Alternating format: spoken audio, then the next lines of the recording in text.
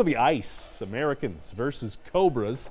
That's our own Jason Laird suiting up to be a referee in this game. And uh, Americans, middle of the first. This is Lindros Beard. Misses the shot, rebounds it, finds Jack Olson, gives Great Falls a 1 0 lead. Not even 30 seconds later, Luke Reichison misses, but Matt Janke gets it back, shoots it, makes it 2 0. Later in the first, you got to check out this hit. That's how you put someone on their tush. The Americans would go on to win in a big way. 12 1 is your final from the Great Falls Iceplex. All right.